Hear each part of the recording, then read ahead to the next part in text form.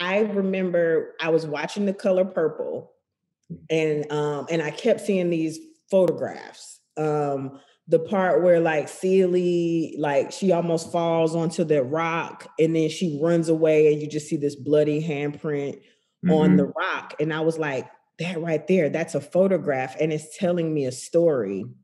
You know, there's something about it that makes me wonder what happened before, what's about to happen and what was this moment about right here to this day i always i still look for that composition that that that mm-hmm. balance of the frame that that that photograph you know mm-hmm. what i mm-hmm. mean that like how can i find the photograph here where's the still image that tells me the story of what's going on if someone was watching this on mute and they saw this right. what would make them be like wait wait wait turn that up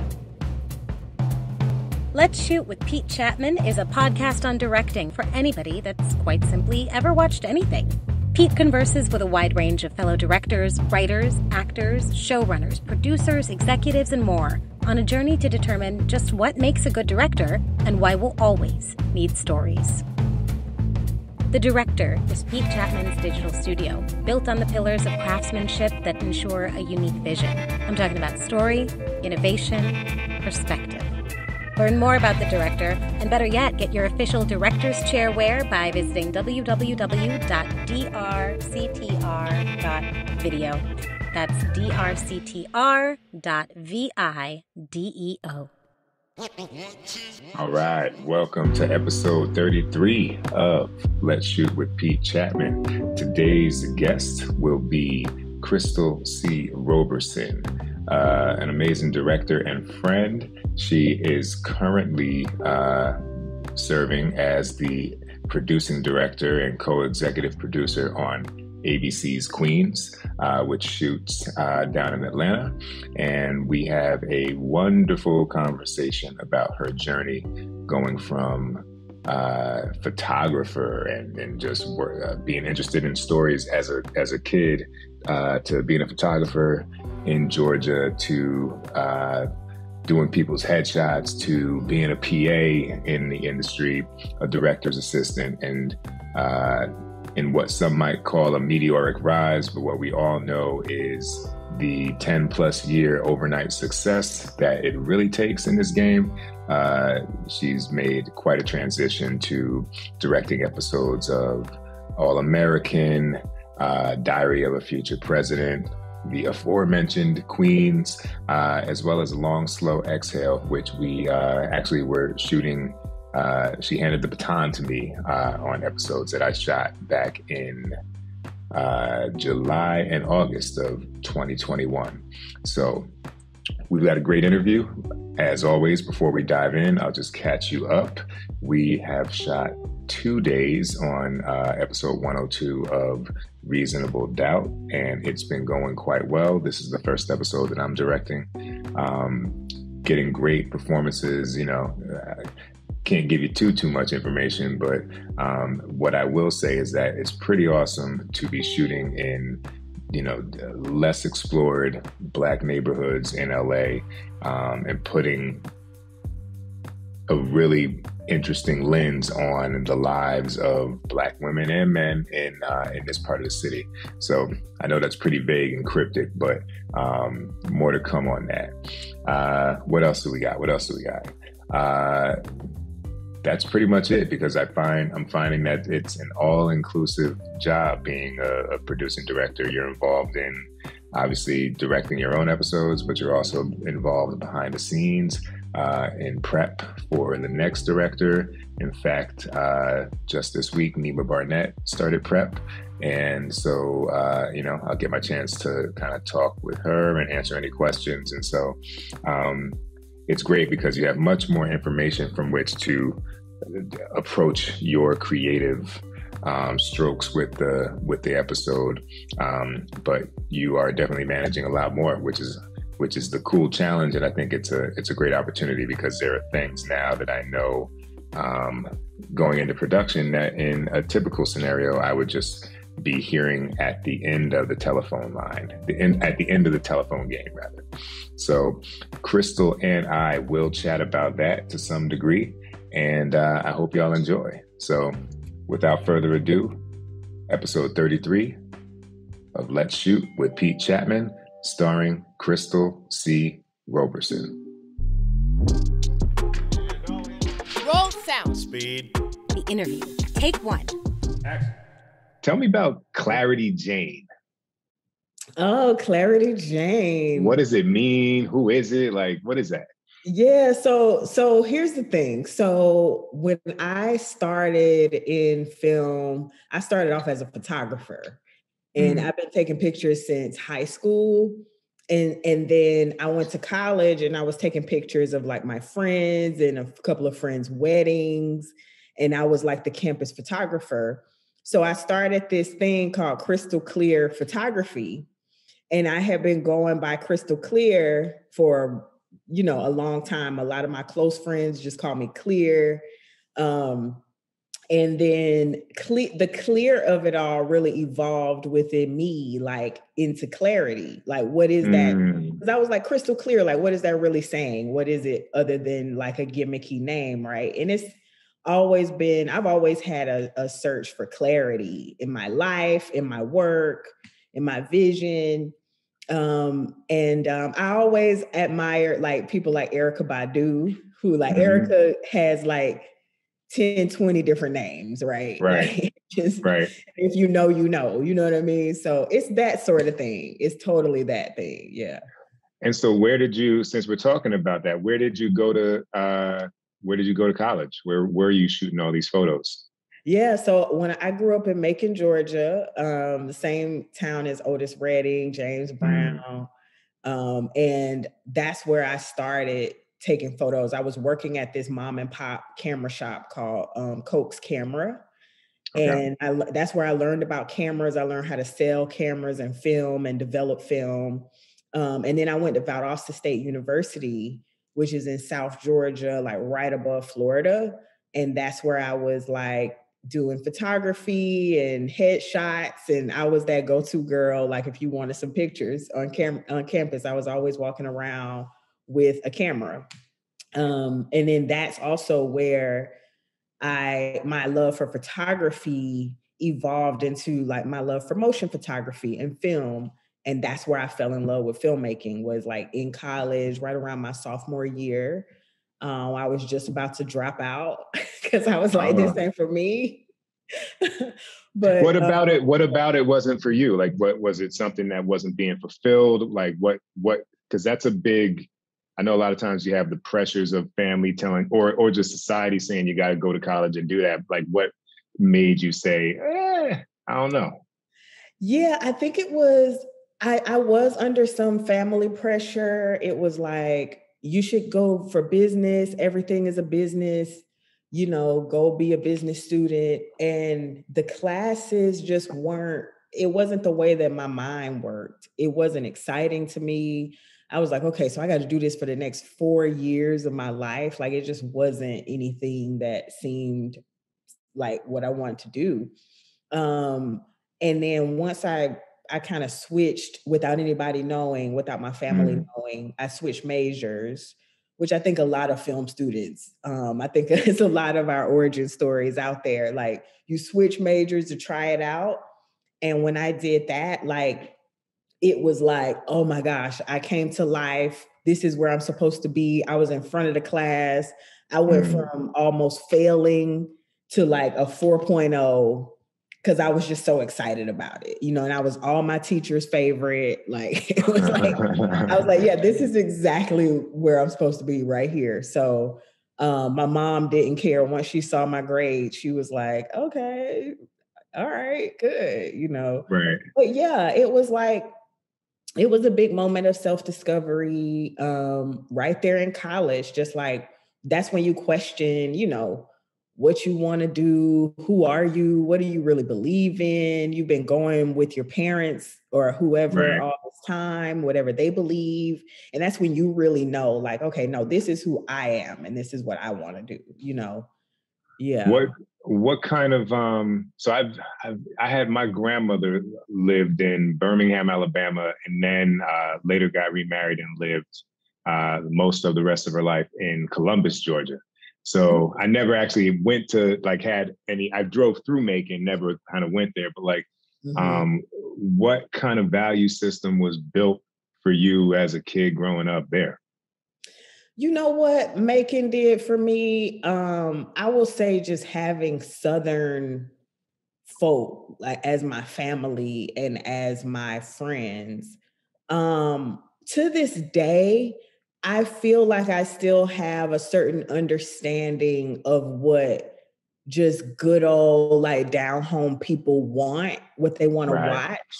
Right. Those are the people who are really watching a lot of television um, and films and movies. Like I think about those people when I'm shooting. Mm-hmm. Um, I mm. think about like just folks who've never stepped foot on a set because you know it can become, as you know, like we we form these circles. We're all in this together, and after a while, it starts to feel like everybody's in the business, right? Right. But everybody's right. not in the business. Most people are not in the business. They've right. never seen it. They don't even know what it looks like. They are sitting there watching your television show or your movie because right. they really want to see your show or your movie right. in, in your story.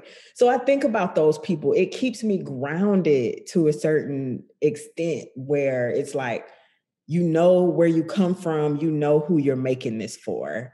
Right. Um, and you understand real people. You know what and I mean? And and there's no judgment, right? Because there's a lot of stuff that like, you know, like I'm a I'm a film school guy. Like I'm I'm like, yo, you got that Criterion collection Kurosawa, you know what I mean? Like, right, but right. you know, whether it's film or TV, like, yeah. Uh, and I'm not casting any aspersions on any shows, but like, there's like a, there are shows that I don't watch, like let's say Blue Bloods, that mm-hmm. are on all day long, and everyone all everywhere is watching it. You know what I mean? Mm-hmm. Or like, you know, even now, like with a with a kid, like we we go to, you know, watch something at the end of the day, and I'm like yeah, I want some shit that's, you know, not going to be too much thinking. You know what I mean? Like, I, I, yeah. I can look up every now and then, be like, oh, they blew up the car. I get it, you know. Um, and while it's yeah. not my sole taste, like you begin to uh, have an appreciation, like you're talking about, for yeah. the types of content people like. Exactly, exactly. And it's like different, you know, different at different phases in your life, you like different things. And like you said, mm-hmm. like when you got a lot going on, you want to escape you want yeah. something to think too hard about. Or when you don't have that much going on, you want something that's going to fulfill you and feed you and feed your mind and make you think. And right, you know, I I've I know all those different types of people. Now know? it it sounds like with uh, and tell me if I'm if I'm on making it a bit of a stretch here, but let me actually let me not make a stretch. Let me ask a question. Okay, okay. is, is, there is there any part because it sounds like you're very entrepreneurial uh, from an early age with even your photo your photography hustle. Was there something about where you grew up that kind of you know bled into that? Like what? Because not a lot of people are like, yeah, I was I was around doing this, I was selling that. Like I, I had a production company, like I was doing you know videos for car dealers and like what what was that? Right. You know what? Honestly, I think it came from the fact that I was from a small town and I had no idea what I was doing and I didn't have anyone to say, hey, here's what you do. So mm-hmm. I think there's a freedom in that. It may seem like a limitation, but there's a freedom in that because then you just start to carve your own path. You start to just do what you think you're supposed to be doing. Right. even if you have no clue what you're doing, um, because there's nobody there to say, this is the way that you do this. I think that if there were somebody from Macon that I could look at and say, okay, this is how I do it, I probably would have done it that exact same way because I would have been like, as a youngster, I would have been like, okay, this is how you do it. Let me do the same thing but there was nobody. Um, right. So for me, I was just like, okay, I'm gonna just figure this out. I knew that photography made me feel a way that nothing else made me made me feel. Um, mm. I know that it put me in a certain space that nothing else on earth had ever done, and it was inexplainable. And I was like, okay, something there's something with this, and I just stuck with it because that's where my heart was anyway. It's what I love to do.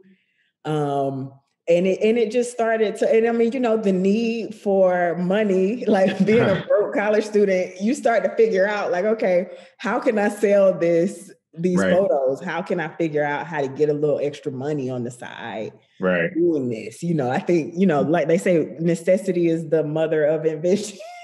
Right. Well th- i mean this is uh i'm gonna make a mental note that i have two questions that i want to come back to about photography and mm-hmm. filmmaking but like i love hearing this because it's you know i met you i don't know when i met you but like i don't know either. I've been knowing you forever but like the but the i think the first in-person meeting was like when when it was what was that 2016 maybe on the greenleaf thing? Was that the first time we met in person?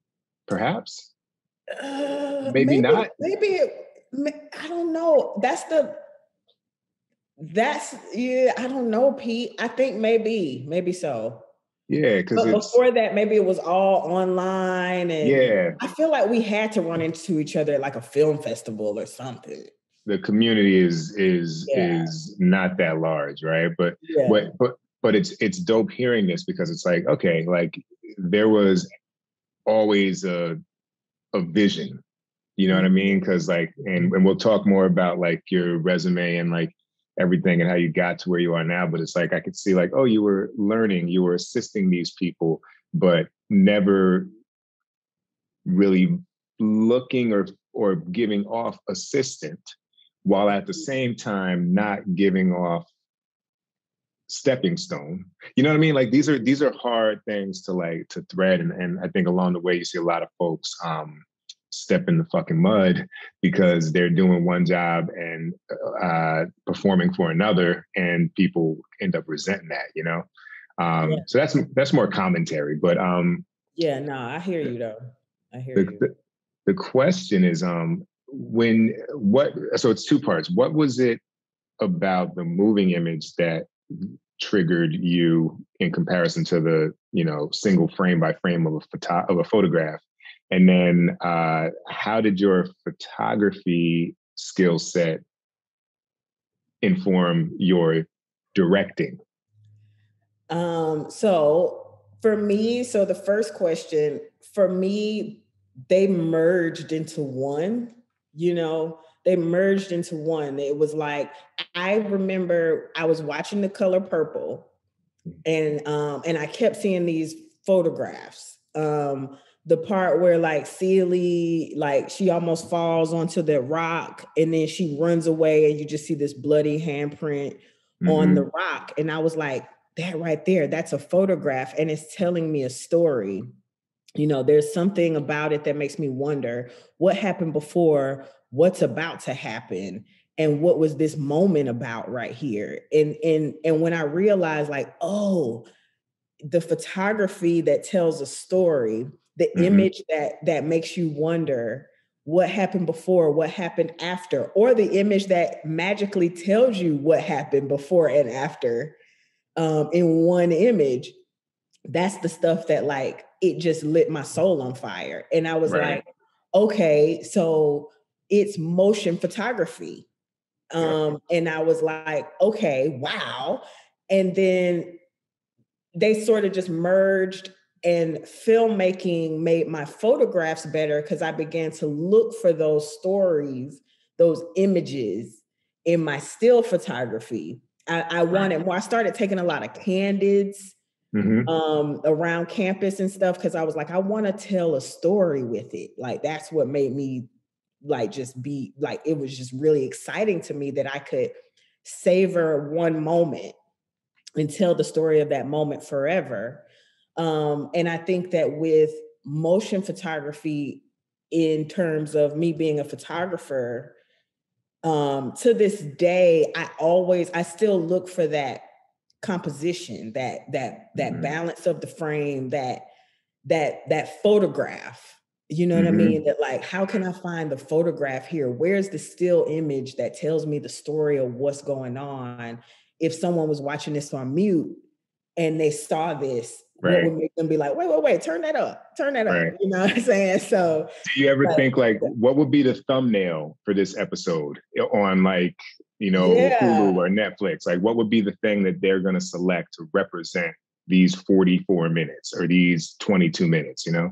Exactly, exactly. And I, I think that images are powerful in that way where you can see one thing and wonder, like, what's this about? Um, and uh, and so yeah they just kind of like they beautifully merged in my life as one thing and one helped the other and the other mm-hmm. helped the other and they still are doing the same thing i haven't taken a lot of like i haven't been taking a lot of photos um but um you know i fell out of it when it all went digital you know what i'm saying i fell out of it a little bit and i got left behind you know what i mean mm. like you you can't fight the evolution of cinema and photography and technology. You can't right. fight it. You can't sit back and be a Southern girl and be like, oh, you know, you know what I mean? Like you will get left behind. So I was trying to fight it. Like, no, you know, people with digital cameras are cheating. You know, you don't know how to take manual photos. And I was a bit of a snob in that way. Mm-hmm. And when I tell you all my little business trickled on out the door, like I got left behind. I stopped making money as a photographer. Um, what year? What year was this? That was right when I graduated college. Like probably either my last year or the year after, because I okay. I remember um, it was probably the last year of college. Okay. And that makes me feel old. But yeah, that's like the digital revolution. Like but, when all the it wasn't like the first digital camera, but it was like when all the cameras were digital right. and all your photos would be there instantly and you know right. it was like widespread everybody was getting them everybody was getting the cameras you know it was it was it was a sea change you know what i mean because like i remember you know, going from film to video. So then it was like we had like the HVX 200 and the Panasonic 24p cameras and all these things. And then yep. the big sea change was, yo, I got a 7D, I got a 5D. I'm like, you shooting video with a camera? Like that sounds that sounds weird, man. And then like I hopped on that bandwagon and I was like, oh shit, like this is crazy. Now the cameras would overheat after a 10 minute clip. So they had like their own like like uh challenges but yeah man it's it's it's wild and even now like things happen where you know uh, the way vfx are being accomplished changes season to season when some new mm-hmm. technology comes out and it's like we got to pivot yeah absolutely and i think do you feel like you're expected to kind of know all of these things mm. as a mm. working director like things are changing year to year but you're supposed to just step in there and just already uh, know it i've i've found like so that's that's a great question. I, I, I think in my early episodes, I thought I was expected to know, and I would feel inadequate if I didn't, and I would probably try and mask it. Then I saw like, well, if I'm, I'm not really masking it because because because I got nothing to add to these conversations. Um, so then I started being like, look, uh, explain this to me like I'm in like I'm five years old because I don't totally understand what we're doing here technically, but I know the story I want to tell. So maybe you can help me do that. And and then some of the best VFX things I ever did were once I opened up to, to that exposure. But that's yeah. that became being confident in knowing that I don't have to know everything. But yes. I have found time. That, that comes with time. Mm-hmm. But I, mm-hmm. I do think the more you do know, the more likely ah, damn, I don't even know if I want to say it like that. I was gonna say the more likely the vision will be what you intended. Mm-hmm. Mm-hmm. Uh, but that's stepping on the idea of collaboration. Because, but I think the more you know about each of those little things, the more intricate you can get. Because I know you've yeah. seen things where you're like a DP might tell you, "Oh, that we can't get that shot, or we can't do it like this," and you're like, you can. Mm-hmm, mm-hmm. You can. I I did that on a short film and it works. You know what I mean? And, and sometimes it totally it's that. Work. Yeah. yeah. Yeah, I remember making some cereal float one time. I was like, the cereal's gonna float out of the box. They were like, dude, how are we gonna do that? And um, I was like, this is how we're gonna do it. And we did it. And we we looped some Froot Loops onto some some damn fishing line and we made that cereal float. You know what I mean? And it was all about just the hand movement of at you know over the frame right. of how realistic it looked. It was less about the gag and more about our performance with the string. Right. But, um, but you know, yeah, like you you always there's always a way when you know. When you don't know, you are kind of at the mercy of the people who do know because they're able to Right. say this isn't possible, and there's no way for you to be like, aha, th- it is possible. You know, Yeah. And then you don't know what they're, eh, you know, and I don't mean to cast fear for anybody listening, but sometimes you don't know who's on your team and who's saying something's not possible because they don't want it to be possible for you. for You know what I mean?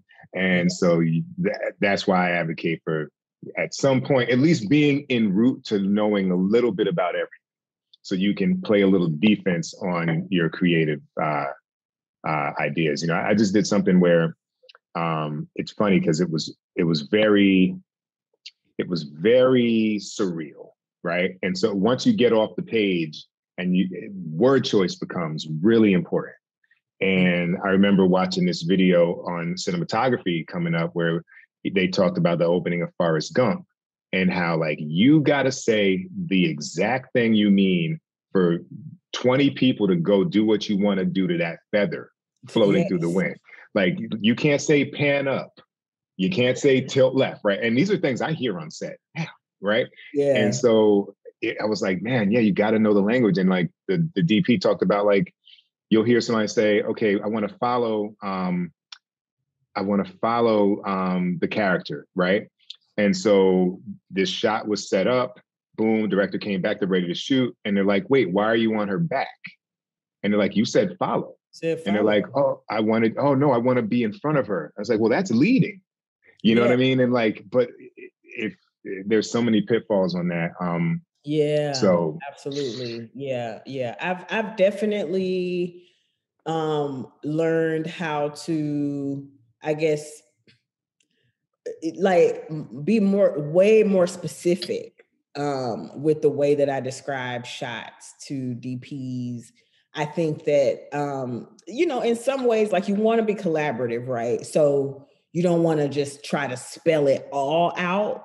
right, But I think what I've grown to know is that it's better to spell it all out and then allow them to collaborate from that point.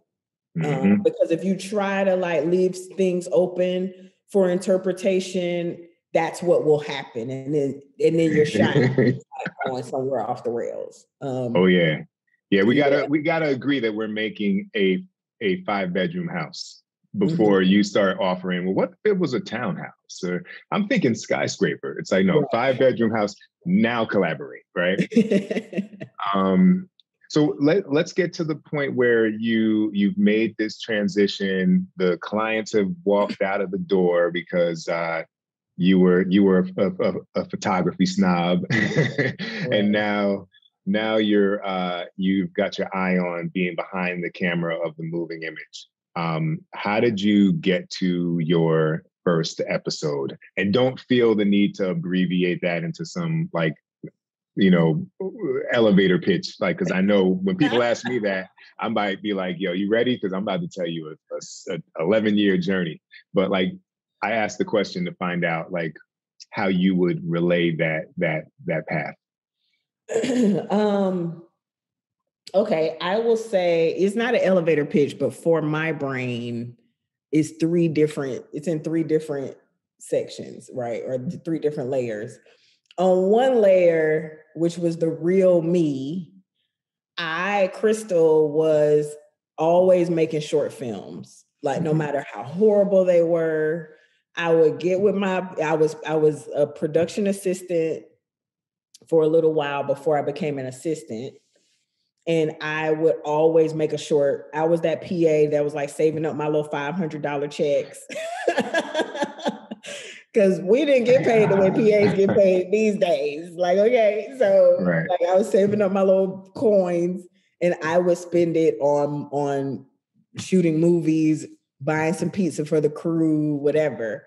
I was the girl who, so on one layer, I'm always shooting short films on the weekends or whatever. On this layer, I'm working in the film industry.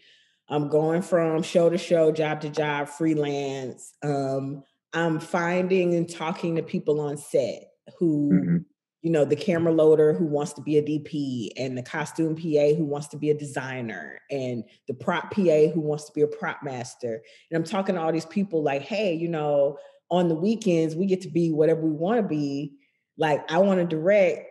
Do you want to be my DP? Do you want to be my costume designer? And then before I knew it, I had all hands on deck. Like, yeah, let's do it. Let's make shorts on the weekends. And it would be different crews. I did have one DP, Ross Shebeck, who um, shout out to Ross. He mm-hmm. did DP a lot of my early, early shorts, a lot of the bad ones, the like just, you know, and so I was I was shooting shorts I was working as a PA in the industry. I became an assistant in the industry, and when and I, I, assisted for probably too long. I assisted for a very long time, but now you assisted directors. I assisted directors. Yeah, directors. Okay. Sometimes, every now and then, I would get like a showrunner or a writer or a producer, but most for the most part, it was directors. Um, mm-hmm. I was working when I became an assistant.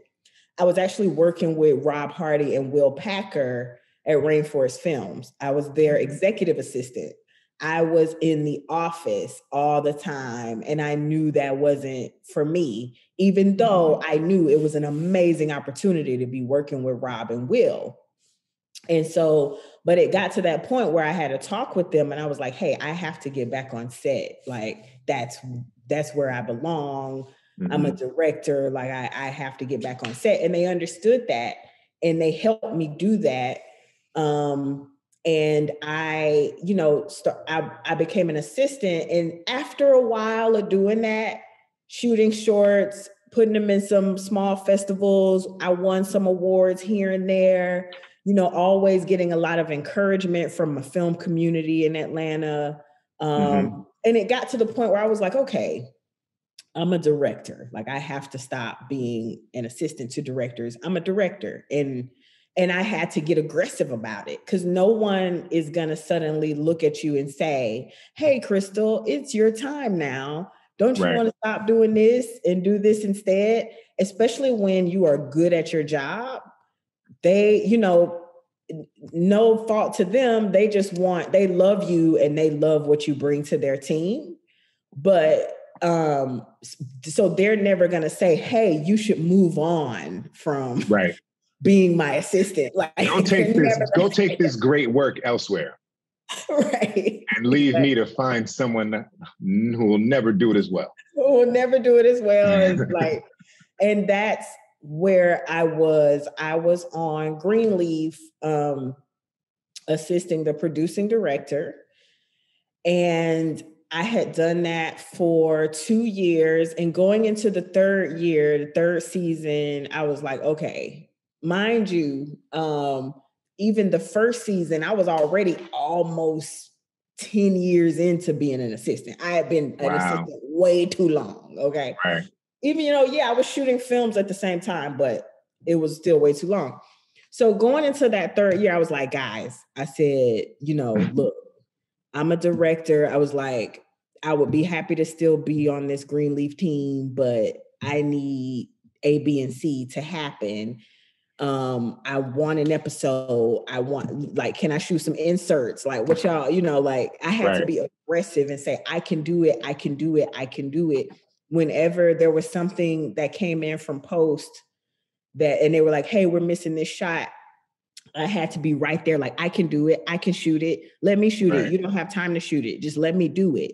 And right. that went against who I am because I'm not that sort of aggressive, put me on, put me on type of girl. Right. I right. can be really kind of introverted, quiet. Mm-hmm. When you get to know me, I'm silly and loud, but not like that. So I had to become someone who I wasn't, you know, and be like, put me on. I'm good. I promise. Right. And so um going into, you know, the fourth year, um, they were like, hey, Crystle, you know, we love you. We're gonna give you associate producer credit and you can direct, you know, a certain amount of second unit work. Mm-hmm. And I was like, okay, great. So I took that deal. I got it got me into the DGA. Okay. That was that was gonna be my next question. Okay, gotcha. it got me into the DGA. The second unit work was legit. And then now coming into the last season, the fourth season, I was able to say, okay, I'm a DGA director. Mm-hmm. Um, I'm not an assistant. If you guys want me to work on Greenleaf, you're gonna have to hire me to direct an episode. Right. And I was like, I have another offer. So, you know, y'all need to think fast. I had no other offers. right. Right. I love it. And when you say if you all want me to work on Greenleaf, was this stepping back from the assistant position or. I will and so I'll step back and I'll only stay if I do an episode or I leave altogether and there's no nothing. It was it I knew that I I I could not be a director and an assistant at the same time. I right. could not be the assistant who suddenly was able to direct an episode and then jump back into assistant. Right. I knew that I had to leave the assistant hat behind and be the director who I know that I am. And I had to say all or nothing. I had to say, you either let me direct or i'm i'm not a part of the family at all and i'm going to go on elsewhere right and um and you know they they were always on my team in terms of like wanting to see me succeed so it wasn't you know it didn't get to that point where it was like look i'm about to you know it was really just like all in love hey guys you know this is what i want to do i have other offers on the table I would love to remain a part of this family. I love you guys. Um, but you know, I got to move on. You know, I got to move move on up. Um, so that worked out well, and um, they brought me back to do another episode, and it was perfect, Pete, because it was like it's it was literally like coming off the bench, like from yeah. your home team. Like yeah. these are people who I've been working with for years, and they were like all super happy for me and you know it was like coming off the home bench you know what i mean and i and i got out there and i literally has have been working back to back ever since you know right now man I, I got so many questions first congratulations on on all of the success and what is most uh impressive is just your commitment to it over such a long period of time. Because as you talk about i couldn't be an assistant for i've been 10 years in the game like I did the opposite where I, I stayed out of the industry and. I was just making things. Because I was like, I just need a job where I can think about it from 901 to 459 and there's nothing else that I have to do from five until nine the next morning, you yeah. know, and yeah. uh and and that was kind of like what is the the actor's waiter version for a director, you know what I mean? Yeah. Um and I was I was not even adjacent to the industry. I just wasn't even in it. You know what I mean? Um, but you were always in it to, I guess, to me, to the people who knew you, because you were always doing something film related, you know. And I yeah. know you were like in New York and you were you were teaching and you were doing things, but it I never felt like you were not in the industry. yeah, that's that's interesting. I well yeah. here's here's the key. I never got paid for doing my job as a director for like 20 years. So wow. anything you ever saw me do was me doing it. You know what I mean? And or and if I did get paid, like like raising money for the first feature, you know, uh, for a seven year journey, I paid myself fifteen thousand dollars. So do the math. You know what I mean? Right. Um, right. Hi, this is Geeta Gandbhir, the executive producer and director of the HBO series Black and Missing, and you're listening to Let's Shoot with Pete Chatmon. Transitions, a director's journey and motivational handbook, is Pete Chatmon's book from Michael Wiese Productions. What started in 1993 has been a marathon of persistence and creative pivots, transitioning from indie filmmaker to teaching at NYU's acclaimed film school to running a production company, to directing television and commercials, and ultimately eyeing a return to the feature films that gave him his start. A mixture of how to, self help, and inspiration, this book is for any person targeting a successful career in the creative arts. Transitions, a director's journey and motivational handbook from Michael Wiese Productions. So I want to backtrack a little bit. In your time as an assistant, being so close to the process, knowing that you knew what to do and had what it takes, what were maybe, I don't know, the top three things that you saw where you were like, that is gonna get you, you know, talked about as, as a director. That's gonna keep you from getting invited back. You know, what are what are the things that you saw that you might even be able to share to people listening there? They're like, yo, don't do this. Oh my goodness, there's so many things. Um, so many things. I mean, you know, TV and film is different. So we'll say TV, right? Because TV mm-hmm. is where the guest directors live. Um, and over the years, is what I've seen is um the thing is, is like most of the time, you know, you come into this crew that's already been established. Every these people are a family. Mm-hmm. And you're coming in and they, there's a whole big picture of this whole season of this show that these people have been working at for like five to six months. And then you come in and you're all and you're gonna be there for seven days or eight days or whatever. Right. And um it's it's it's the directors who do not understand that you are the guest and these people are the family. They are the blood, sweat, and tears of the show. They're the ones who have been sacrificing and like going through relationship issues and shit, mm-hmm. trying mm-hmm. to keep this job for months on end. They're the people who have been literally on set every day, Monday right. to Friday, 12, 14, 16 hours for months. Yeah. So when you come in, you have to respect that. You have to speak to these people, say thank you. You have to res- you have to show them a level of respect. And it doesn't mean that you can't get what you want and say what you want and say what you mean. Because at the end of the day, like get your shot, you know, shoot your shit, like Rob Hardy mm-hmm. said. Right. But like you can't just come in like, hey, I'm the director, you do what I say, and I don't have to say hello, good morning, thank you, and good night. I don't have to say any of that because I'm the director. Like these people will work extra slow. They will, most of them go out for beers with the producers or whatever, you know, mm-hmm. pre-COVID or whatever. But either way, right. they will trash your name. Like, yeah, right. this this guy, I don't really like this new guy, or I don't really like this girl. She's this new director, you know, she's just da, da, da. and and so I try my best to like when I and I'm I can't be I'm not an overly nicey nicey to everybody. Like mm-hmm. I'm not fake with it, but I make sure that that they know that I see them and that I respect them.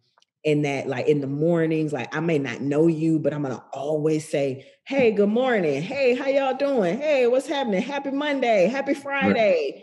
because right. just that little bit helps. Like these people been working their asses off you know what i'm saying yeah. like they're about ready to strike like right. you gotta come in there and be happy and be thankful like you know oh, that's so, so true just that simple like i've seen just rude directors um, directors who don't say good morning or thank you, or they just come in and, and do it. And they may do an amazing job, but nobody, mm-hmm. everybody hated working with them.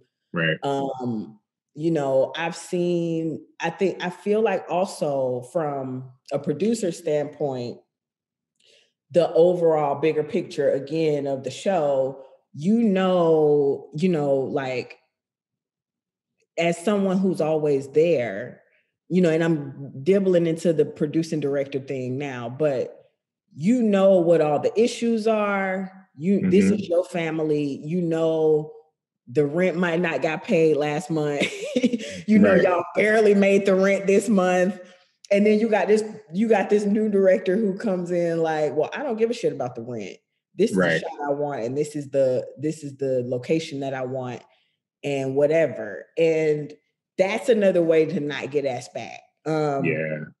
It's not necessarily that you have to completely just compromise on everything, but you do have to take into account that these people are have been producing a show for months before you got there, and they're gonna have to produce that show for months after you leave. And mm-hmm. if you come in and fuck shit up, you know, part of my French, but it's like you that no matter what the amazing job that you do,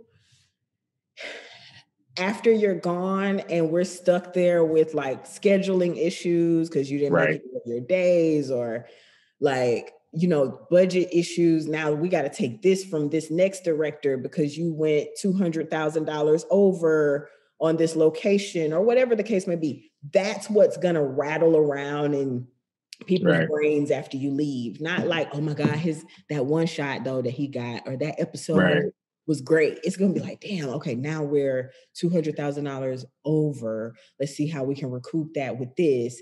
And then we got to figure out the schedule for that. It's a whole nother, you know. And, and for four weeks after you left as director, they still are experiencing your, the yes. wake of what you left behind. Sometimes and, it goes on for months. Right, like after you right. leave, that trickle, that domino effect ended right. up messing up like you did episode two and now we're on episode five and we're still dealing with the shit because because right. things have to go somewhere everything right. has to go somewhere else you know right you can't well, just create space and time you know i've i've seen that you know and i don't and i i don't always know how those issues arose but i've definitely gotten places where it's like oh i'm i'm now paying for the the, the sins of my father. You know what i mean? Like uh, and that exactly. father was in episode two. Um, well let let's talk about this pivot now to producing director. Um, you are co-ep and producing director on queens on abc um, I am super interested in this uh, convo, as I told you, because I'm in a very similar situation, actually the exact same one, where um, you know I'm producing director. I know. Thank you for for this show, Reasonable Doubt for Hulu. Um, the pilot on this one's directed by Kerry Washington. The pilot on Queens was directed by Tim Story, mm-hmm. and so here you are now, right, coming into this family um, and you are uh, kind of not at the head of the table, but you're you're there when everybody's left and gone to bed, and you're talking with other, you know, uh, yeah. stakeholders in the kitchen as you clean up the meal. Um, just kind of talk about what this job is, and then I'll probably have a, a, bunch of questions for you, as like you know what you've learned and what you've done and and and uh, experienced over the past um, what since about September? Um, August. August. Okay. Yep, since about August, because I feel like, yeah, uh, yep, August. But yeah, um, it's everything, Pete. This job is everything. It's it's it's thinking about all of it, everything, um, in a way that I never have before. Um, I think that every producing director job is different. I think it just mm-hmm. is all going to depend on like the dynamics of the set that you're on and and what's happening. For me, um, oh my goodness, I don't even know where to start because you have you have the producing and then you have the directing. I'll start with directing. Okay. Um, directing as a producing director, um, I began to say things that I never thought I would hear myself say um, in terms of like, you know, when you're just directing, it's all about the story, it's all about the creative, it's all about what I can possibly do. And I found myself being like, well, I do love this location more, but I understand I'm going to get more bang for my buck here. Um, I do want this episode to be on pattern. I do want my hot cost to be right. Like that's well, can you can you define those? So pattern is the expected budget per episode, yes. right? Predetermined yes. with all with the studio and the network. Yes. And then what are hot costs? The hot costs come in every day, and it's whether you're over or under your daily projected budget. So, like, if you go over an hour, your hot costs are going to reflect that you went over an hour. If you come in under 30 minutes, your hot costs are going to say, oh, she saved us $12,000 today. You know what I mm-hmm. mean? And um, when you see those things as a producer and you're actually directing the show, you know, you start to think of it as like, okay, I need to direct this in a way that can can help everyone succeed.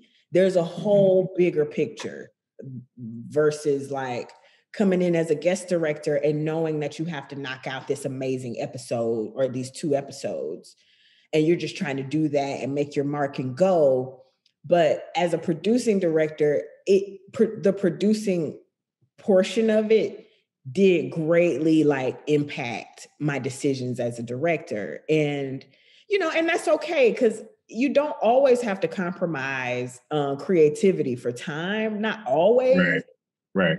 Um or like sometimes you could you know you could go for the for the less expensive location and still bring something amazingly great out of it you know what i mean? So right. it's it's not always like oh you know i had to sacrifice but you know the directing portion of it you you are keeping it in mind um the overall like issues that are happening with your show. Because your your producing partners are there like hey we're over budget here or hey we have this problem or hey this actor whatever the case is um, and are they looking to you to then have some kind of um, diplomatic conversation with the current director about how to not continue these overages or how to not continue these uh, this coverage that is not maybe in in line with what we want? And then i'm, I'm firing so many questions at you and then like how much of that is even like on the dp like is it the dp's job to protect the look? Or if the look is off in a particular scene do you have to be like yo that's not how we shoot that? Like who where does who swoops in yeah well a lot of different people sometimes swoop in, but the the the what I will say is usually a DP on a TV show, you know, like they're just gonna shoot it the way that they the the, the way that you shoot it, the way that the show looks. Mm-hmm. And a good DP is not just gonna let you go completely off the rails and do something right. that's not the show. Um, so that's a good thing. So I don't have to worry about that too much. What I mainly have to worry about is when I, you know, I'm thinking about time, I know we can't go over 12, 13 hours max. Mm-hmm. And when I start to see the way that a director is rehearsing a scene and you start to see that the blocking is may get a little cumbersome, mm-hmm. like this is going to take an extra setup, that's going to be an extra 45 minutes. Are you sure you can you have time for this?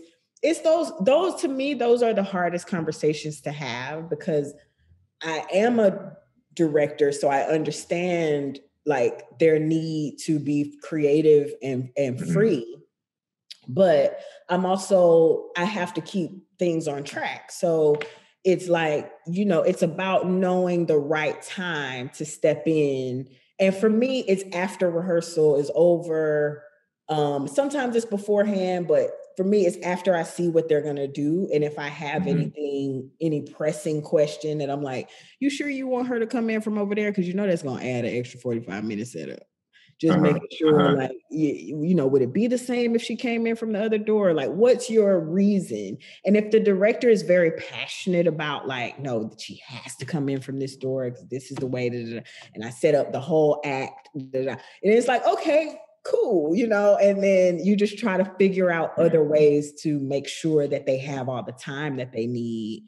Um, but having those tough conversations is a part of the job of like, okay, you know, if you go in for this overhead crane shot, you're probably going to lose a setup in your next right. scene because you you're running out of time. You right. know what I mean? Yeah, it's it, you know, and it's. Have you found any diplomacy tricks? You know, because like is are you asking in that fashion? Like are you sure you want to do something or like or or what's your plan? Like you know what i mean? Like it's, it's tough because director they they they know the shit right? They know what you they already know what you're trying to say. So right. i try to be as straightforward as possible because like right. if i try to i feel like if i try to dance around it is right. going to be like, what, Crystle? What are you trying to say to me? Right. So I, I think I just go in straight and be like, hey, so um, I notice you have her coming in from over there. I know that's going to be at least an extra hour, just straight right. up. You know what I mean? Right. So I'm just trying to. And sometimes they have a plan, like, well, actually, I'm not going to cover that, or I only need one size on this, or I'm only Mhm. going to grab this in the wide shot. Then you know what they're thinking. Because Right. guess what? Your boss, like the the bigger producer, is gonna come along when shit is running late and be like, "What's happening? What's going on? What's he doing? What's she doing?" Right. Then you Right. you have to be able to say, "Oh, you know, once she turns around, it's gonna go quick because she only has one size and da da da." So so you have to discuss the plan with your director when you see that something might take way too long than it needs to take.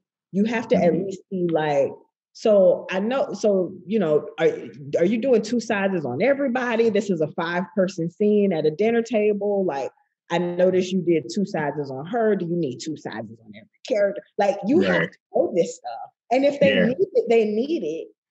Like, I don't like to cut their their coverage, you know, per Right. se, unless it's just really something that's unnecessary. But like, um, but like if they need it, they need it. But at least you know what it is that they need, and you can try Right. to anticipate on how to help them, you know, get it. Are you requiring them to provide you with a, a plan, whether blocking or shot list, or are you, or is the show kind of finding this out on the day? Yeah, I some directors, like I had one director who gave me a shot list before her episode. Um, but I don't find that that is necessarily always better. Mhm. Um, I think that I like directors who can think on their feet on the day because Mhm. sometimes stuff just happens in the morning. A, an actor was late, or a wig got left at home, or whatever the case right, is. right, right. And then you still have to get in there and figure out, like, okay, how are we going to make this day? This took longer than we expected. Yeah. Um, and sometimes I feel like those directors um, kind of fare better than the directors who had it all planned out. Because Right. the ones who had it all planned out to a T, they're less likely to deviate from that plan. And it's like, Mhm. well, this is the way that I saw this scene, and this is the way that it has to go. And it's like, I understand that, but you got 30 minutes. So Right. what you gonna do? You know what I mean? Like I, you know, so it's it's tough. But yeah, I don't I don't have anyone do any shot lists or anything. I will like if there's a big scene, like you know, usually in these episodic scripts, there's Mhm. One dinner party, or there's Right. like the part where the, they get into the car accident, or there's the part where the the boat blows up. I always right. talk to them about like their big, you know, scene or anything that's that I know. It's like, so what's your plan for that? Like, how you feeling about it? You know, is there anything I can do? You know, just to see like what they're thinking, give them a Mm-hmm. But I mainly just talk to the directors about. I like to talk to them about the actors and how the actors like to work mm-hmm. because I feel like that's a bit of a shortcut. Like, don't Yeah. you know why send them in there and let them figure it out? Like, just let them know, hey, this actor loves to do their coverage second. This Right. actor is this way, and you know, just I like to just give them tips on how to kind of skip stuff they don't have to figure out themselves and take more time or you Right. know, um but it's i think that's that's the hardest part for me about it it has been when you have a director who really wants to shoot the scene a certain way Mhm. and it's like i understand what you're trying to do but how can we do this in this amount of time Right. um you know so Yeah, it's it's interesting because I I've I've found that I've had uh increasingly I've been I've been met with prep calendars that tell me I have a shot list meeting on a particular day. oh yeah yeah yeah You know, and and I'm like, okay, that's cool. I get that, and and I respect that. What I what I'll do though is I like I'll be like, well, I'll I'll we'll schedule that when I'm ready to yeah. Because like if we're you there who says i'm ready on day three to even talk about this right? Right. um and so i have been thinking about having you know i have a whole little document that i'm preparing for the directors that they'll get a little bit before they arrive. That's just like inclusive of like here's how it's going to unfold and one of those things is uh you'll have Um, in the second half of your eight day prep, you will schedule at your convenience a meeting with the AD to go over your, you know, scene plan to make sure that this schedule reflects what you need. And it's ho- and it's kind of a roundabout way, maybe, of getting that conversation on on paper and out in the in concrete of like, you know, sometimes you they the AD has two hours for a scene. You're like, I got that in an hour, no doubt. Right. Um, and I I'd rather put that hour here. So sometimes it's just a, a better time management thing, but other times it might reveal like, oh, you want the big equipment on this scene. Um, we need to, you know, think about how we accomplish that. Yeah. But you know, I'll, it'll be a, I'll report back to you how it works. no, I, I, like that because most of the time, like, you know, the person who does the prep schedule is like an AD, like maybe the second AD who's just trying to kind of like get it done. You know what I mean? Right. Or right. so much stuff is up in the air.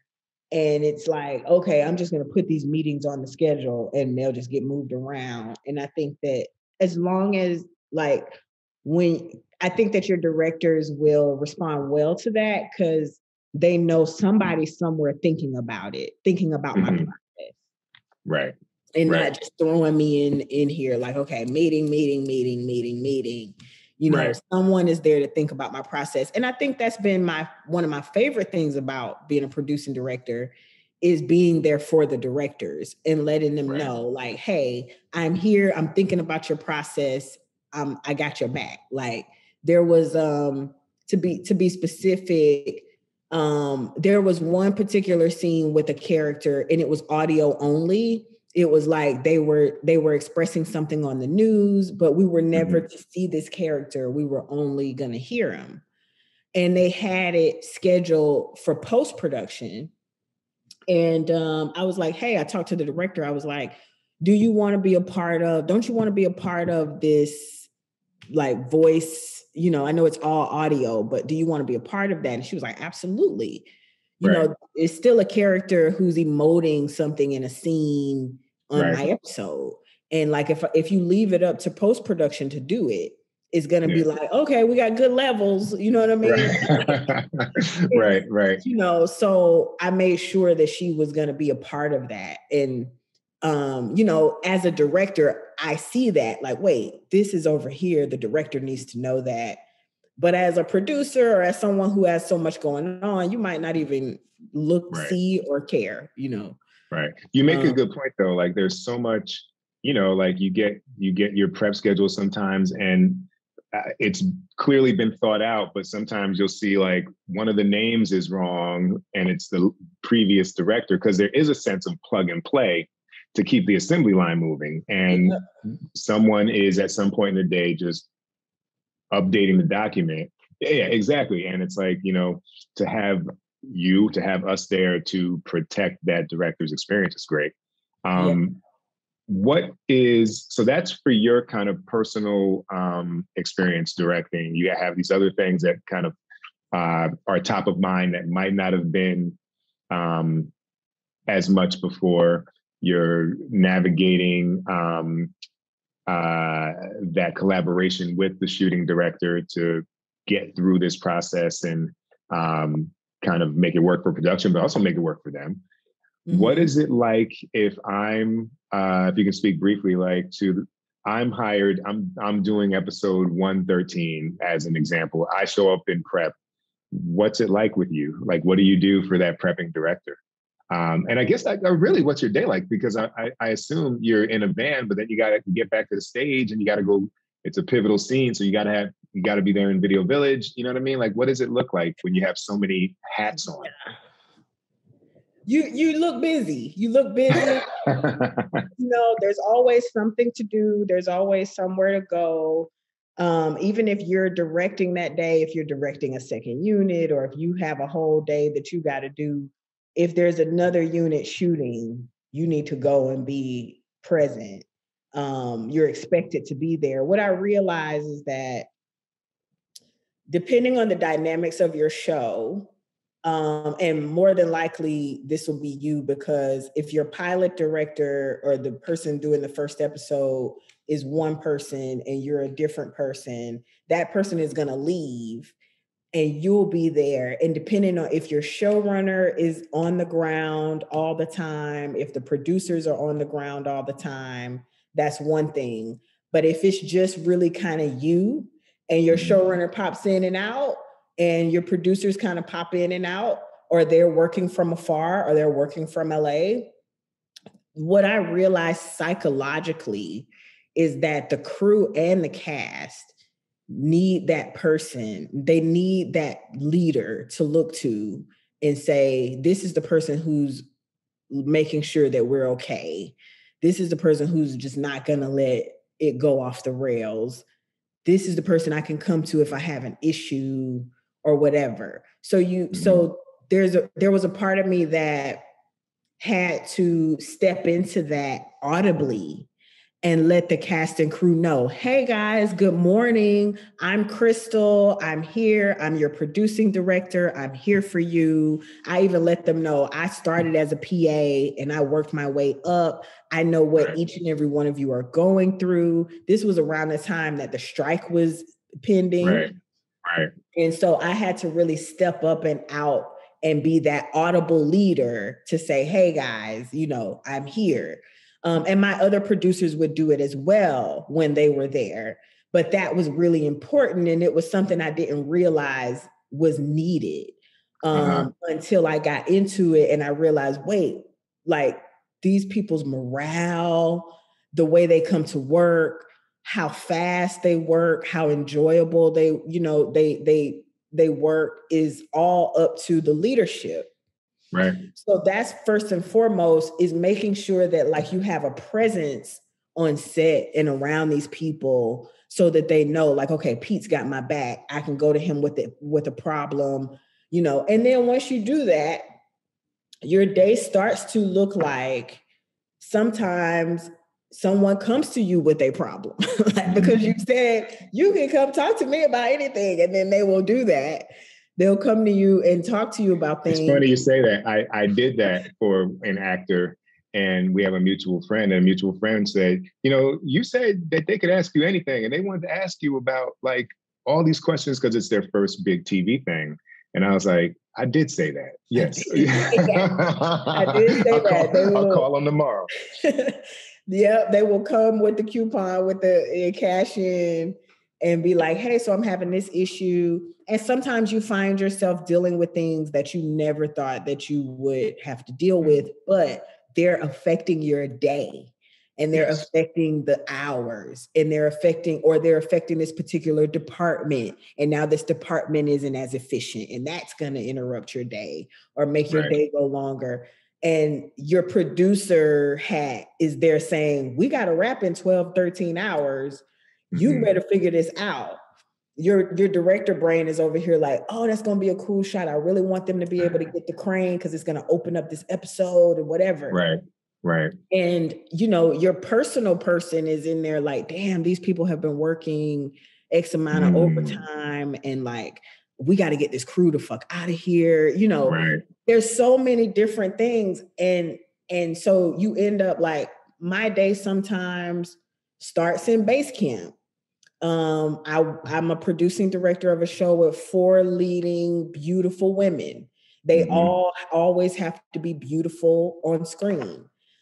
Um, so some days, if someone doesn't like their hair or someone doesn't like their wardrobe or someone's trying to figure something out, mm-hmm. my day will start in base camp. Um, and that will come to you, not the showrunner, or or or is your example your showrunner is in LA, is in LA and you shoot? Yeah, like if, right. so if my showrunner's in LA, if he is if he is on the ground, sometimes I like to handle the smaller petty things because I know he mm-hmm. has a lot to do. I know he's probably trying to get the next script out or right. he's on a notes call with the studio and he doesn't have time right. to come down and deal with like the fact that so and so's hair she doesn't like her new wig or whatever. You know what I mean? Right. Because right. sometimes they need to be told that they're beautiful they need to be, you know, actors need to be safe and confident. Sometimes it's just someone saying, I love what you have. I love what right. you're wearing. I think it looks great on you. And they're like, really? You think so? Yeah, I think it looks yeah. wonderful. This is what the showrunner also liked. You look amazing. And mm-hmm. then sometimes that's all they need to be like, okay, okay, well, maybe if I just do a belt with it, it'll be fine. You're like, yeah, just girl, put on a belt. Let's go shoot. It's gonna be great. Let's let's go shoot. As, as I point to my watch. Yeah, yeah, yeah. But you know, but so you can do that, but you also you can't bullshit too much because you have to tell the truth as right. well. If they look stupid, you got to tell them, like, no, right. we got to change this because right. they have to keep that trust in you to know that, like, okay, Pete's not going to just let me go on screen looking any kind of way because he's trying to make his day. He's going to be honest so that the next time it happens, you can say, no, no, no, I promise you look great. You look fine. Mm-hmm, and they'll trust mm-hmm. to say, okay, great. All right, good. let's go. Let's do it. You know? Right. And sometimes it's just that. Sometimes it's um it's anything. It's any little thing that can happen. Um right. that that that once a leader shows up to say, hey, here's what we need to do, sometimes that's all that's needed. And right. then because you had different crew members start to talk about what they think should happen. And I think it yep. should be this, and I think it should be that. Well, this person's feeling this way, and then you're at a stalemate because everyone's right. there talking about it. And they literally just need you to step in and be like, hey, let's do this. Okay. Almost like vice president, like a tying vote in the Senate. Yeah. You know, but the but the showrunner is president, right? Is um, yes. Yes. What does at the end of each day, um, do you stay till the final shot until wrap? Do you judge it by the nature of the scene? Like, what's your how do you how do you determine when yeah. you leave because you're doing so many jobs? You also need to get home. Yeah, I mean, me personally, I stayed to the last shot, but there have been some times that I didn't. Um, where I was tired or I knew I wanted to go on an early scout the next day. Mm-hmm. So I'm like, I'm not gonna stay late tonight because I'm going on this 8 a.m. scout in the morning or whatever. Mm-hmm. So you kind of just play it by ear. But what I found is that anytime, sometimes when I say, well, they got it, I can go home, that's when some some stuff happens, you know. and right specifically for me because a lot of times I'm on set, I'm the producer on set. Um, then it's like if I'm not there, who's there? You know what I right. mean? So right. if there are other producers present on set and I have like an early morning or like the scene is super, I'm like, okay, y'all, I'm gonna catch out. Like I'm gonna, I'm gonna head on home. That's fine. But like sometimes it's the smallest little stupid scenes right that you think are going to be all fine and they're not so i yeah. like to stay um i like to be there for because you'll find your actors will get very dependent on your presence sometimes mm. you you're mm-hmm. that person who's always there making them feel safe every other new director who comes in they're a new director they're a new person Right. You know, and you're there to say, okay, Pete is there, everything's okay. And sometimes it's mm-hmm. just your presence there in Video right. Village saying, You're doing great. That was an right. amazing take. This is a great scene. They they need that, you know. How many episodes are you directing? Uh, you have a do you have a what's your order? Is it I did two. So okay. So I did four and I did seven. Okay. Yeah. And what's and the total uh, episode order? It's um 13. Okay. Yeah. So it's interesting. Um, Tim Story did the pilot, the first two episodes. And I know Kerry Washington's doing yours, which is very exciting. Um, so that's also interesting because some producing directors are the pilot directors or the first. Right. Or, or they kind of set the tone for the show and then they keep that tone Right. Um, so for people like us, it's it's a little bit different because you're the first director obviously is going to set the the tone and mm-hmm. then you still have to kind of keep that going You, you right. not kind of keep it. You have to keep it going. But from but you're a different director with different you know sensibility So and the, and the demands are extremely different because our like our mm-hmm. pilot was 14 days. We will have nine days to shoot. So mm-hmm. it becomes like it becomes what's logistically possible while being creatively amplified while being realistic. You know what I mean? Like, because that's that means you know fewer takes. Um, it means more pages per day, and you've yeah. got to really find a way to communicate whatever the true essence of that pilot vision is. How do you take that and you know replicate it? It's like if you if you're known for if you Patti LaBelle and you making pies at home, how do you make those pies for everybody? because you can't cook them the same way. You know what I mean? You can't because um, patty Patti left, and now like you know yeah. what I mean. Patti's yeah. not here to make the pie. Now we got Sue in here making the pie. How do we make the pie taste the same? Yeah, right. and look the same. Um, and um, you know, it's I think it's harder on some shows than it is on others. I think some shows have such a specific look and style mm-hmm. and feel to them mm-hmm. that it probably becomes a bit more, you know, um, my show, Queens, it's an ABC show. There's a very sort of like straightforward connection with the characters that our showrunner and our pilot director set forward. Right. It's like they're interested in being right up close and personal with these people. They don't want something over here behind, you know what I mean? They they want to mm-hmm. connect like straight on with people and and i think like you said it's about the essence it's about finding out like so what is it really about is it really about connection is it really about is that why you want the tighter eye lines right you know, like what is it um and once you find that out then you're able to to kind of speak to that with your directors um um but yeah it's it's it's a very it's a tightrope walk and you're juggling two or three different things. Um, it's right. a really challenging job. It's a challenging job, but it's very fulfilling because it's very challenging and you'll step right. in and do things that you didn't know you could do or that you've never done before and you realize the weight of your word or the weight of your um, input is something that like could save our day right. or you know what I mean. Save well, the beauty of it. The, another beauty of it too, in this world of, um, I, I I'll say in this industry world of hierarchy, right, and and and what you've done being proof of what you can do.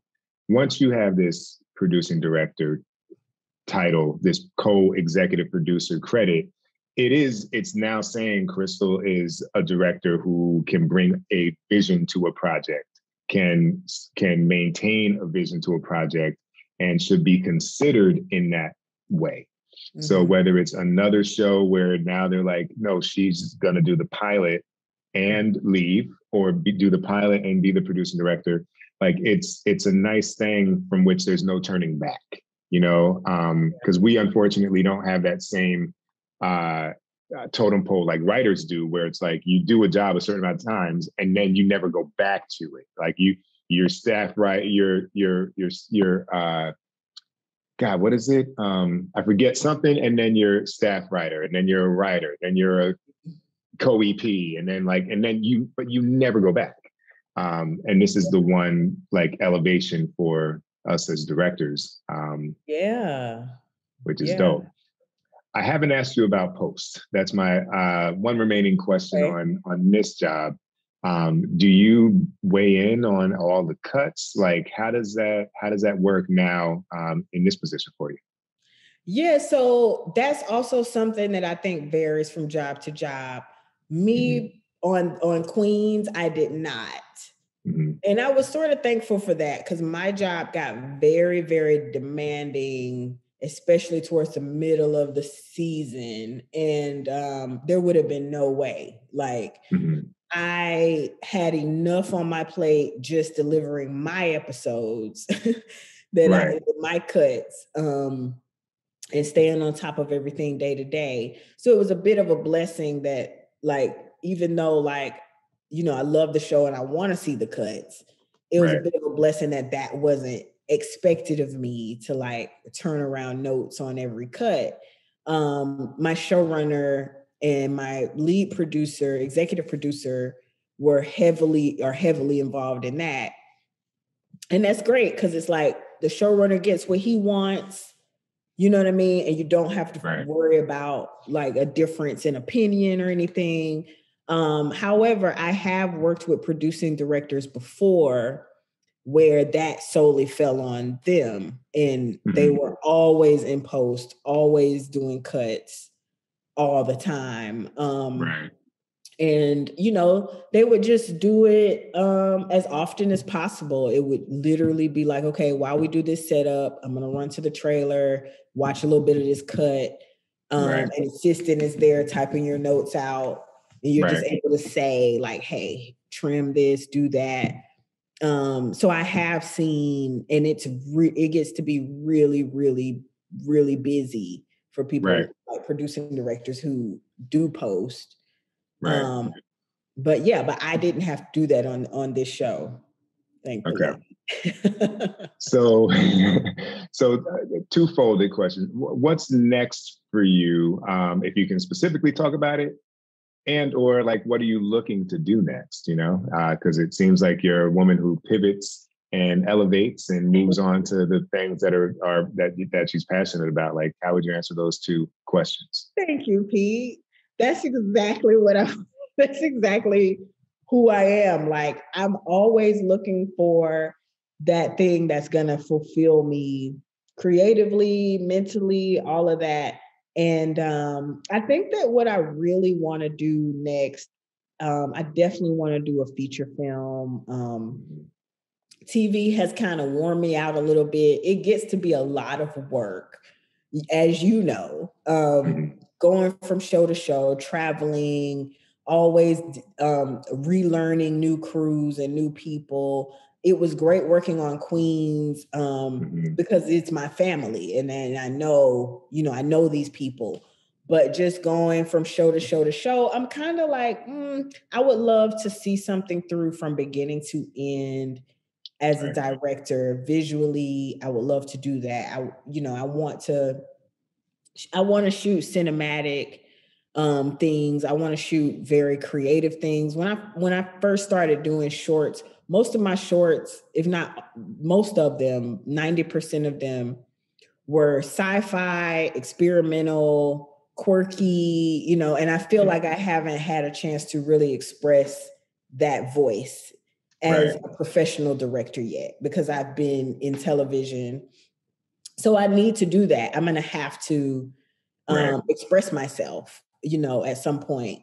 Um, so I'm excited about that. And I'm also a writer. Um, I have a couple of things in development um, that have been in development for a while. So pro- hopefully this year you'll start to see those things come to the forefront because we've been working on them for so long. Um, right.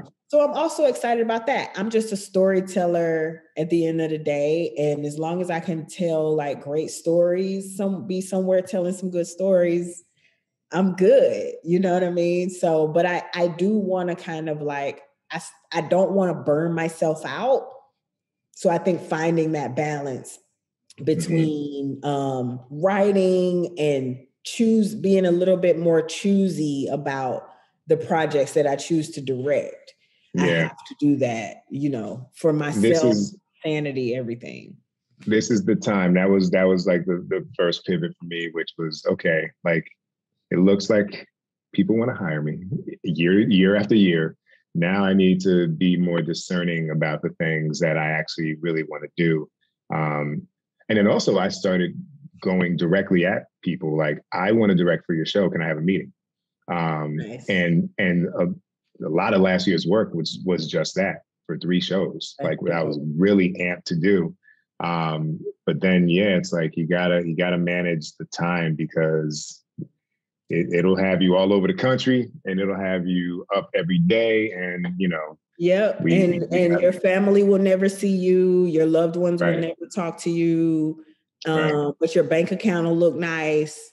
Right. But you know, it's that. And and then right. before you know it, you know, you have to like, you know, because it's like I was getting momentum. I was getting momentum. And it's like, okay, we got momentum. Now I have to steer this thing in the direction right. that I want it to go. I can't just let it go right and right see where. I end up. You know, it's like be honest with. I would just say like you have to be honest with yourself about what you really want to do. Because if you're trying to do this for the rest of your life, mm-hmm. you can't just fake it forever. You can't you can't do something you're not that interested in forever because after it, right. it it's too right. hard. It takes too right. long and too much.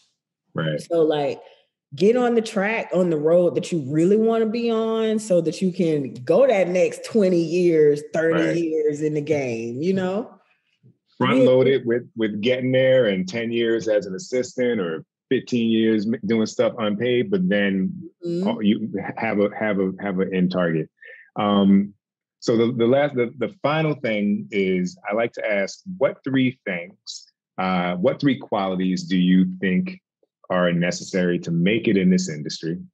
Uh, and then the final question is what would you tell your younger self? Um, okay, so three things. I would say, look, my old mentor, rest is rest in peace, um, Fred Morris. Um, he was a Jewish guy. He used to tell me uh, to have chutzpah, Mm. And like that's the first thing that came to my head was like chutzpah. And I was like, what's chutzpah? And it's basically balls. It's yeah, it's the ability to stand on your two feet and say, This is my idea, to, to be able to express your vision unapologetically, to be able to go after what you want aggressively and be like, mm-hmm. actually, no, I'm a director and this is what I do um, because no one's going to believe in you more than you believe in you. So if right. you kind of halfway believe in yourself, nobody else really is either. Um, so I would say that's probably the first thing. You got to be brave and like face like face failure, face like the possibility that like you can mess up your whole career and like uh and like one decision. That's right. fine. You got to face it and take it and do it anyway. Um, right. you know, so like you you definitely can't make it too as far as you want without having that. And I would say um, you know, just persistence um over the long course of it cuz I think that sometimes people think like it's a quick thing. I can get rich overnight, or all you got to mm-hmm. do is shoot a film, and then these people did it and it's like, yeah, great. It's great for those people. But what if your journey is 10 years or 15 or 20 or 25? Right. Are you right. still going to love it? Are you still going to be there? And you got to be there no matter what that answer is. Like, no matter how many years it says, you know, is your destiny to to try and break through. Right. Are you to just, you got to be persistent and do it until it happens? Um, because if you give up before it happens, it'll never happen, obviously. Um, and then I think chutzpah, persistence, and um, you know what I'm gonna say that I probably have never said before, but I will say self-care. I would say self-care. I think that if you can take care, know how to take care of yourself, right. you can make it in this business. I think that you have to mentally take care of yourself you you have to physically eat the right things so that you can mm-hmm. withstand those long hours so that your brain isn't foggy so that you can you know express your ideas in a clear and concise way so that people know what to do um if you're like half drunk half high really unhealthy you know right. barely able to make it through the day or even mentally if you're still holding on to old baggage and now you don't trust yourself and you're not confident in your ideas or whatever the case is you got to clear all of that shit up and you have to really focus on a, a portion of your life that is dedicated to taking care of yourself um, yourself is what is going to go out here and do all these amazing things. And if you're not taking care of that then it's like you're you're battling against you know yourself. Um so yeah. i would say self-care has become a huge part of my life just in trying to do this. Um and i don't think i would have made it had i not taken mm. certain steps to become you know better mentally emotionally physically spiritually um you know and i think a lot of times people don't think that that's a big part of the job but it is it totally right. is and there will come a point when you will be forced to reckon with how important it is. So figure it out early, people. Yeah. Don't figure it out now. Yeah, figure it out now. Yeah. Um, yeah. Well, this has been an absolute pleasure. Thank you, Crystle, for yeah, hopping on to the pod. It's a long time coming. We were talking about doing this. Uh, well, this will air, I guess, in 2022. We were talking about doing this early in 2021. 2021. Yeah. Um, yeah. So it's a great way to close out the year. Um, Happy New Year to you and yours. Um, and yes, uh, thank you. Thank you so much. It's been it's always amazing talking to you, my brother. You've always been, you know, just um, a shining light, and you've always gotten out there in ways to encourage people and show people the way to, to go. Congrats on the book and everything. Keep doing it. Just keep doing it. Keep doing what you're doing.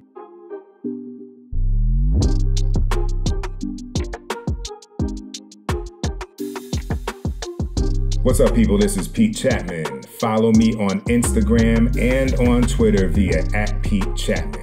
Follow the pod on Facebook on our Let's Shoot with Pete Chatmon official page and hit up our mailbag with questions, suggestions, or hey, donations if you're feeling like it via Let's Shoot with Pete Chatmon at gmail.com.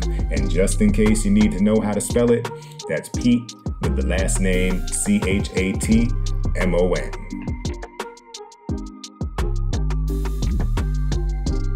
And thank y'all for tuning in to episode 33 of Let's Shoot with Pete Chatmon. That, of course, was Crystle C. Roberson. Hope you enjoyed the conversation. Next week, we will have the indomitable Kelly Edwards. Uh, her book, The Executive Chair, uh, from Michael Wiese Productions is available, and it is a writer's guide to TV series development and uh, so we get into we get into the into the weeds with that. Um, also, Kelly's been a mentor of mine. She ran the HBO All Access program uh, that I was in in 2016, and uh, you know we get to chop it up and then see how things have been over the past uh, couple years with what she's been doing. So, hope you all enjoy. As always, stay safe, spread love, and keep creating.